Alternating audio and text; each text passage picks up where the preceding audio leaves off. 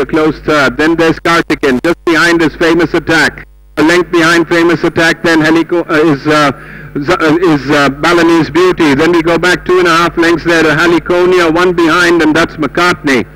They go past the 800, approaching the 600 meter marker, and it continues to be Nelson, just the leader there. From uh, on the outside, there is uh, Balin is uh, Ivy chapter uh, uh, 3 wide in between them. There is Bourneville just behind them. We've got Karthikeyan who's made a forward move, followed there by Francina who's also moved up. And then we go back there in the rear to famous attack. Heliconia looking for a run on the inside.